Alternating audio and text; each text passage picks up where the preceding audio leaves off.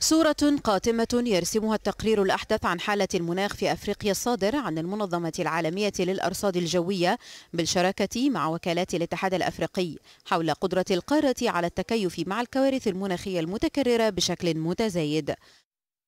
ووفقا لأحدث البيانات كان عام 2020 ثالث أشد الأعوام حرارة في أفريقيا على الإطلاق. إذ ارتفعت الحرارة بمقدار فاصل 86 درجة مئوية عن متوسط درجة الحرارة في العقود الثلاثة التي سبقت عام 2010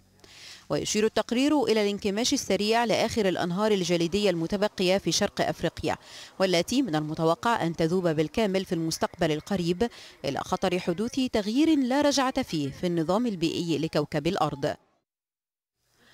وتوقع التقرير أنه وفقا للمعدلات الحالية ستختفي جميع مناطق الجليد الاستوائية الثلاثة في أفريقيا وهي كليمنجارو في تنزانيا وجبل كينيا في كينيا وروينزوري الأوغندية بحلول العقد الذي يبدأ في العام 2040 وبحلول عام 2030 تشير التقديرات إلى أن ما يصل إلى 118 مليون شخص يعيشون في فقر مدقع سيواجهون الجفاف والفيضانات والحرارة الشديدة. إذا لم يتم اتخاذ تدابير مناسبة للتعامل مع ذلك.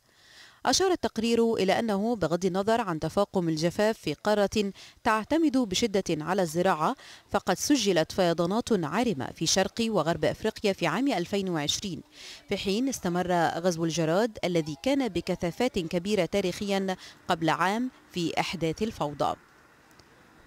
وقدر التقرير أن منطقة أفريقيا بجنوب الصحراء ستحتاج إلى إنفاق ما بين 30 و 50 مليار دولار أو 2 إلى 3% من الناتج المحلي الإجمالي كل عام حتى تكون قادرة على تجنب عواقب أسوأ.